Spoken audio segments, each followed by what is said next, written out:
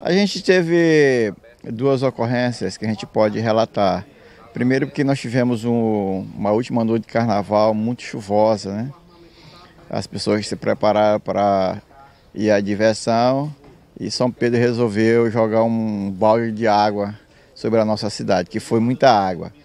É, mas mesmo assim, é, com a chuva torrencial, uma dupla resolveu sair em campo para tentar assaltar, né? É, é, lá na 13 dela, tentaram roubar um, um rapaz lá no, no, bairro Jerusalém. E depois, uma senhora que estava com o pneu furado, né, levando a sua criança na moto, eles também tentaram, mas só que nós estávamos lá no próximo do, do espaço Chamel e uma, uma, uma pessoa que observou a cena dos dois elementos nos avisou.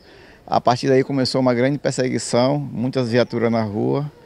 E nós conseguimos lograr isso. Quando ele passa na ponte, já nós tínhamos uma, uma viatura posicionada, né?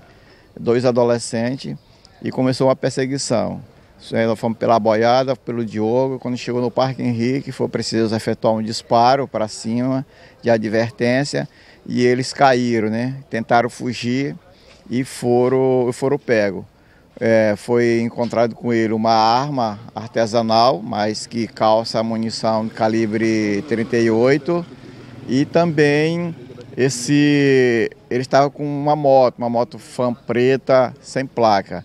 Então, essa foi uma ocorrência de mau vulto, né? A gente é, ficou assim um pouco é, preocupado pela idade das pessoas. É, são pessoas, dois adolescentes, um de 14 anos, o outro de 15 anos. Então você vê que é, a criminalidade ela está chegando, ela está destruindo a nossa, a nossa, a nossa juventude. Então isso é uma coisa que chama muita atenção da gente.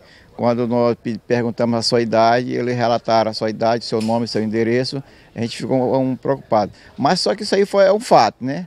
Crime é crime e agora ele vai responder pela, pela sua atitude. E também nós tivemos um problema a, da, no circuito, no espaço onde estava tendo festa de carnaval, ali na avenida, no espaço Caranguejo Bar, uma pessoa já bastante alcoolizado, houve um desentendimento dentro do clube, quebrou uma garrafa, tentou furar o seu desafeto com essa garrafa, o segurança interviu, chamou a guarnição e quando a guarnição chegou, simplesmente ele, ele engrossou o cangote, né?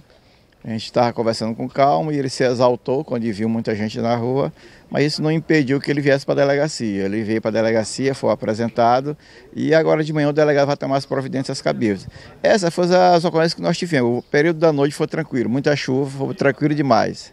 Subtenente, o que a gente pode observar nas suas palavras e também no serviço que vem sendo desenvolvido pela Polícia Militar nos últimos dias é a apreensão de armas de fabricação artesanal, inclusive a maioria dessas armas na mão de adolescentes. É verdade. É, geralmente tem, tem oficinas clandestinas que as pessoas estão é, fazendo esse tipo de arma, é, é espingarda, é, essa parece uma pistola, mas só que ela, ela, ela puxa o o, o, o, a gente puxando o gatilho, o ferrolho, esse, ela calça 38. A gente pode imaginar que ela não dispara, mas ela tem uma potência incrível. E isso aí na mão de uma, um adolescente nervoso, e eu, se uma, alguma pessoa reagir, com certeza ele vai apertar o dedo e vai ter uma tragédia. E diante disso, os dois adolescentes foram apresentados, acho que hoje o Conceito Tutelar deve comparecer à delegacia para acompanhar todo o processo, que é de lei, e o delegado vai dizer o que, que vai ser feito com esses dois adolescentes. É, a gente fica, a gente lamenta, né? A gente lamenta, mas é assim que a, a banda toca.